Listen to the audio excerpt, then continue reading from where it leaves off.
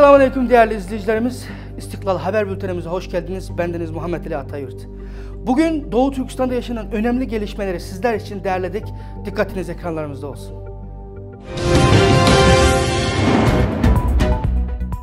TikTok Türkiye'de yasaklanmaya başladı. Türkiye Büyük Millet Meclisi Milli Savunma Komisyonu tarafından Türk Silahlı Kuvvetleri'nde Çin'e istihbarat bilgileri sağlaması dolayısıyla birçok ülkenin ulusal güvenliğe tehdit olarak gördüğü Çin merkezli sosyal medya uygulaması TikTok'un kullanımı yasaklandı.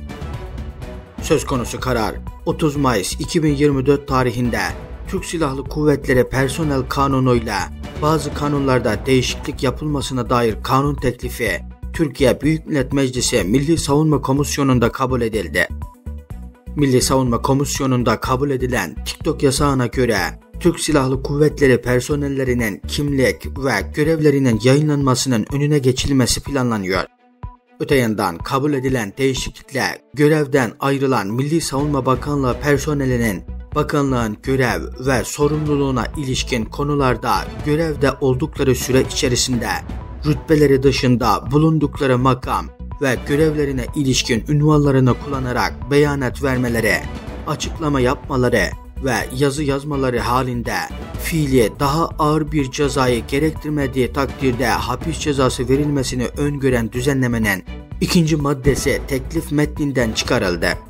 ABD FBI Direktörü Christopher Wray daha önce Çin'in süper bilgisayar ve yapay zeka çalışmalarını kullanarak casusluk, IP hırsızlığı dahil olmak üzere birçok yasa dışı faaliyette bulunduğunun altını çizmişti.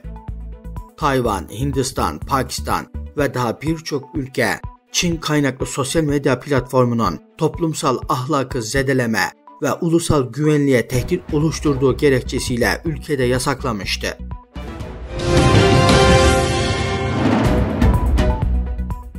Üniversitelerde Doğu Türkistan Konferansı düzenlendi. Türkiye'nin prestijli üniversitelerinde ve liselerde Uygur soykırımına ilişkin özel seminerler düzenlenerek öğrencilere Çin'in Uygur halkına yönelik zulmünün ve sistematik soykırımının tarihçesi, zulmün Uygur kültür medeniyeti ve hayatı nasıl etkilediği güncel sorunları hakkında bilgi verildi. 29 Mayıs İstanbul'un fethinin 571. yıl dönümünde İstanbul Gelişim Üniversitesi AK Parti Üniversite Teşkilatı Genç Vizyon ekibi tarafından organize edilen Filistin ve Doğu Türkistan zulmüne dur de temalı konferansta İstiklal Medya Grubu Türkçe Bölüm Koordinatörü gazeteci Sayın Muhammed Ali Atayurt aynı kadere paylaşan ümmet coğrafyası Doğu Türkistan ve Filistin hakkında sunum gerçekleştirdi. Kur'an-ı Kerim tilavetiyle başlayan konferansa Avcılar Müftüsü, İstanbul Gelişim Üniversitesi Rektör Vekili, İHH Avcılar Temsilcisi ve gazetecilerin yanı sıra çok sayıda üniversiteli öğrencilerin katılımıyla gerçekleşen konferansta Sayın Atayurt tarafından Doğu Türkistan ve Filistin'deki zulüm karşılaştırmalı olarak katılımcılara anlatıldı.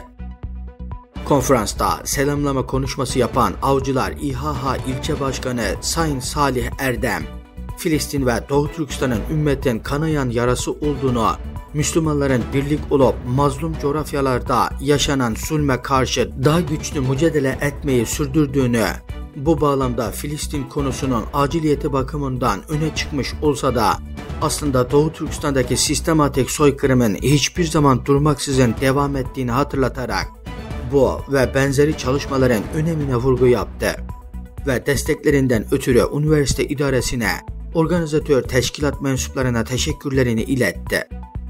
Öte yandan 22 Mayıs'ta Çanakkale 18 Mart Üniversitesi'nin Sosyal Sorumluluk Kulübü organizasyonuyla gerçekleşen Doğu Türkistan'ın dünü, bugünü ve geleceği konulu bir sempozyum düzenlendi. Sempozyuma Doğu Türkistan Alimler Birliği Başkanı İstanbul Medeniyet Üniversitesi öğretim üyesi doçent doktor Sayın Alimcan Buğda ve Doğu Türkistan İnsan Hakları İzleme Örgütü Genel Sekreteri Sayın Abdülahad Udon ayrı ayrı sunum gerçekleştirerek Doğu Türkistan tarihi ve Çin zulmü güncel vaziyetle ilgili bilgi paylaştı. Etkinlik kapsamında Uygur kültür medeniyeti, bölgeye özgün geleneklerin yansıtıldığı ve de soykırımın anlatıldığı fotoğraf sergisi düzenlendi.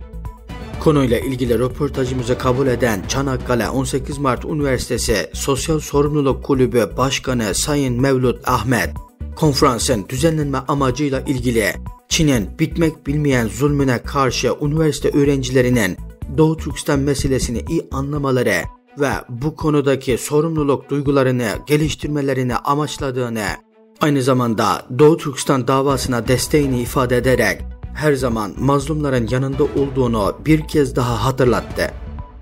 Sosyal Sorumluluk Kulübü Direktörü Sayın Yasin Yücel, Çin devletinin Uygurlara yönelik sistematik baskı ve zulüm karşısında sessiz kalamayacaklarını, Uygurların milli kültürüne, dinine ve inanç özgürlüğüne, insan haklarına yönelik sistematik saldırılar insanlığın ortak vicdanına yaralamakta olduğunu, şu an bu insanlık dışı suçlara karşı hep birlikte ses yükseltme zamanı olduğunu ifade etti.